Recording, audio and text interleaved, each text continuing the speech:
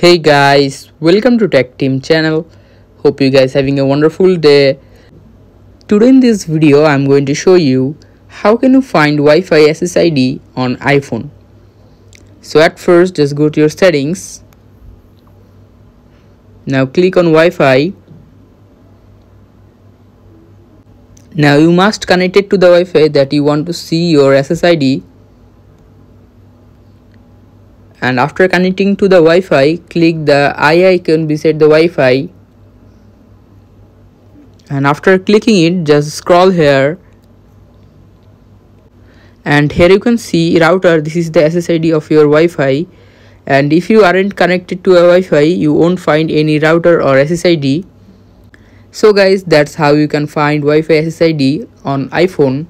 Hope you find this video helpful. If you find this video helpful then give a thumbs up and don't forget to subscribe the channel. Thank you very much for watching the video.